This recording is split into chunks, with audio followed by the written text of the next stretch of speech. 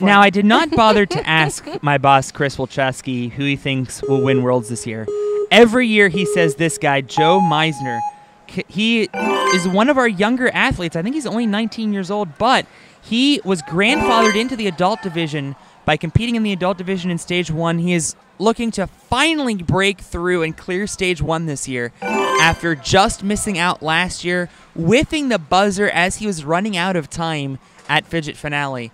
And he wants to leave no doubt this season. and Joe is just so incredibly strong. If, if he makes it to stage three, we've just been waiting for Yeah. him to make it to stage three because if he does, it's game over. I don't think he Absolutely. can possibly fail a stage three. I'm just always impressed when I see Joe on a course, and he is flying. He is well ahead of the fastest time right now. He actually beat Edge of Dreams in testing last year, Look at which that. no adult athlete was able to do in their run.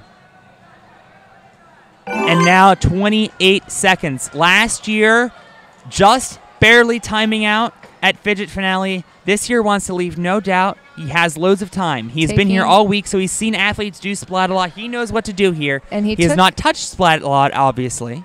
And he took a little bit of a pause before he got on the obstacle. And sure after could six long years, Joe Meissner finally defeats stage one. You can see him Oh, emotional man. on the side, on the buzzer platform. Oh, he look has at that! finally done it. I'm sure Chris Wilczewski's so proud, and everyone who has followed this young man's career is so happy to see him finally through to stage two.